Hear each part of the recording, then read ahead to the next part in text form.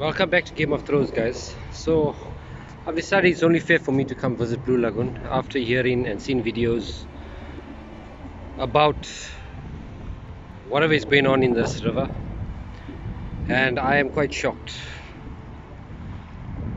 There's a salmon that's floating right there.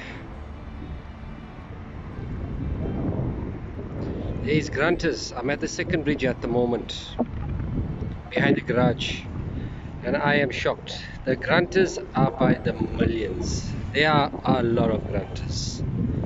Undersized grunters. There's salmon. There's perch. There's mudbrim. There's karanteen. There's blacktail.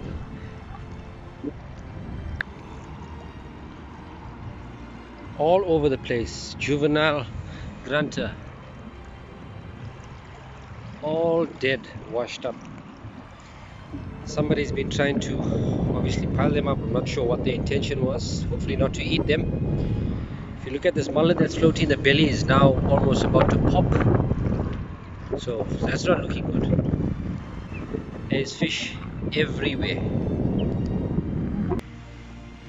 There is just fish everywhere you look.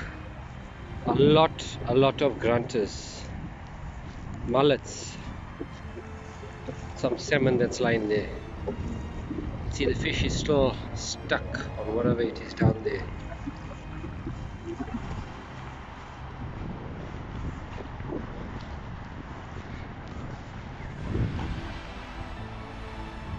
A lot of grunters. If you can see along this path there's just fish everywhere. Everywhere. I think this is called a garfish if I'm not mistaken. But yeah, the salmon next to it, a whole lot of grunters.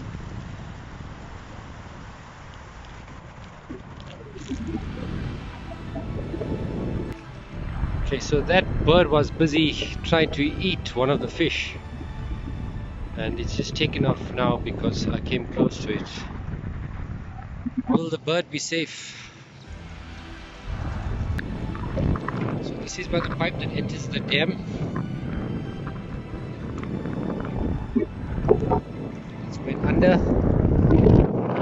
Hopefully that water doesn't end up there. End up there.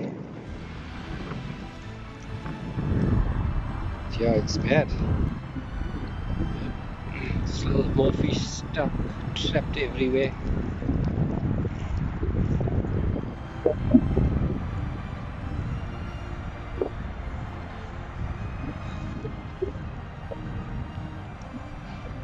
Far as the eye can see. All along here. It's all dead fish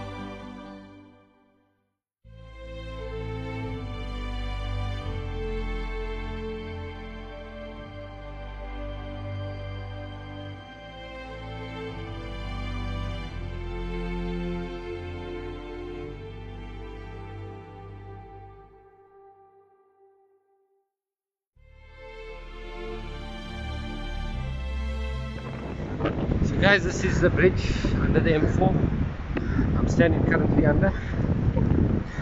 There's a lot of fish that's there.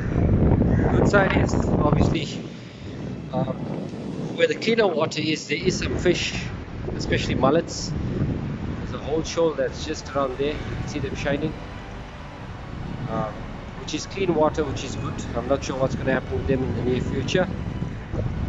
But the sad part is there's a lot of birds as well on the north bank that's eating fish I'm not sure if I can get this but